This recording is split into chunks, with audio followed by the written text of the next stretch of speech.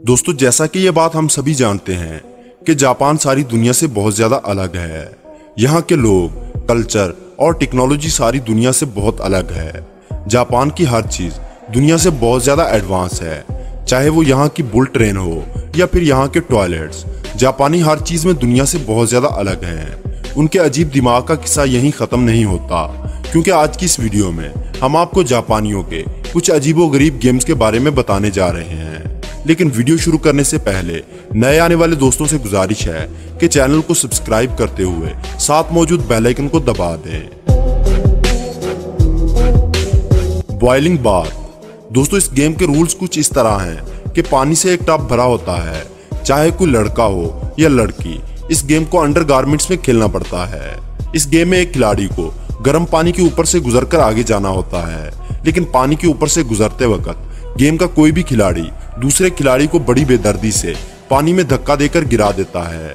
ये पानी बहुत ज़्यादा गर्म होता है। जी हाँ आपकी सोच से भी ज़्यादा गर्म। और अगर आप टब के ऊपर खड़े होकर टीम के किसी खिलाड़ी से बात कर रहे हो तो तब भी वो आपको पानी में धक्का दे सकता है। दोस्तों, हमारे लिए या किसी के लिए भी, ये गेम किसी पागलपन से कम नहीं है। क्योंकि इस गर्म पानी में हम कपड़े पहनकर भी नहीं कूद सकते, लेकिन ये जापानी अंडर गारमेंट्स में इसे बहुत मज़े ले लेकर खेलते हैं। और ये गेम जापान में बहुत ज़्यादा पॉपुलर है। एक बैंगो दोस्तों, इस गेम में आपको कीड़ा निकल जाने जैसी हिम्मत चाहिए, क्योंकि इस गेम में एक शीशे के पाइप के ज़रिए एक दूसरे के मुँह में फूंक मारी जाती है और शीशे के पाइप में मौजूद कीड़ा एक दूसरे के गले में डालने की कोशिश की जाती है, जो पहले फूंक मारकर दूसरे के गले में कीड़ा पहुँचा दे, वो गेम जीत जाता है। मुँह से मुँह लगाकर शीशे के पाइप से खेले जाने वाला यह खेल हमारा दिल तो खराब कर सकता है मगर जापानियों के लिए मज़ेदार खेल है। What's in the box. दोस्तों, ये गेम आपके महसूस करने की कुवत पर डिपेंड करती है, यानी छूकर मालूम करना। इस अजीब सी जापानी गेम में खिलाड़ी को एक बॉक्स के पीछे खड़े होकर खेलना होता है। खिलाड़ी बॉक्स के इर्द गिर्द बने सुराखों में से बॉक्स में रखी हुई चीज़ों को छूकर इस चीज़ का नाम बताता है। अगर इस चीज़ का नाम सही बता दे, जो बॉक्स में पड़ी होती है तो वो जीत जाता है। आपकी मालूमात के लिए बता दें कि बॉक्स में कुछ भी हो सकता है। किसी भद्दी चीज़ से लेकर, इंसान के जिसम का बना हुआ मसनू पार्ट भी। लेकिन लड़कियों को ये गेम खेलते हुए होशियार रहना चाहिए, क्योंकि इस बॉक्स में मेंढक और चिपकली भी हो सकती है। वेकिंग विद द हॉट कर दोस्तों, ये जापानी गेम थोड़ा हटके है। इस गेम में खूबसूरत लड़कियों को फ्लोर पर सुलाया जाता है।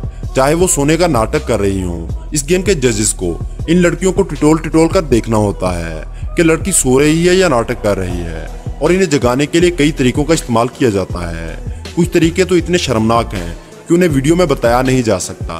बस इतना ही कहा जा सकता है कि बहुत ज़्यादा वाहियात और जो भी लड़की उठ जाती है तो उसके चेहरे पर एक क्रीम से भरी प्लेट मार दी जाती है और इसके साथ ही वो लड़की गेम से बाहर हो जाती है। Let's go to end of world दोस्तों, ये एक बहुत ही इंटरेस्टिंग जापानी गेम है। इस गेम में खिलाड़ी को नए नए काम करके अपने आप को साबित करना होता है कि वो वाकई अजीब काम कर सकता है। दरअसल इस गेम में खिलाड़ी को एक मज़बूत शीशे के क्यूब में डालकर खतरनाक जानवरों के सामने फेंक दिया जाता है और जानवर खिलाड़ी को अपनी मौत की तरह ठीक सामने दिखाई देता है। वो खिलाड़ी पर करीब से हमला करता है, जिसे देखने वाले खूब लुत्फानंदोज होते हैं और इस क्यूब में मौजूद खिलाड़ी का फेस एक्सप्रेशन भी रिकॉर्ड किया जाता है। कि इसकी हालत क्या थी, जब वो इस खतरनाक जानवर के सामने था? ह्यूमन टेट्रिस दोस्तों, ये गेम भी जापानी गेम्स का एक मज़ेदार नमूना है। ये है तो थोड़ी टफ गेम इसमें खिलाड़ी की तरफ़ इंसान के जिसम के हिसाब से कटिंग की हुई शक्ल आती है और खिलाड़ी को सामने से आने वाली शक्ल के मुताबिक अपने जिसम को ढालना होता है, ताकि वो इस कटिंग की हुई शक्ल में से बासानी गुजर जाए। अगर खिलाड़ी ऐसा कर लेता है तो वो जीत जाता है। और अगर वो ऐसा नहीं कर पाता तो वो हार जाता है और गेम से बाहर कर दिया जाता है।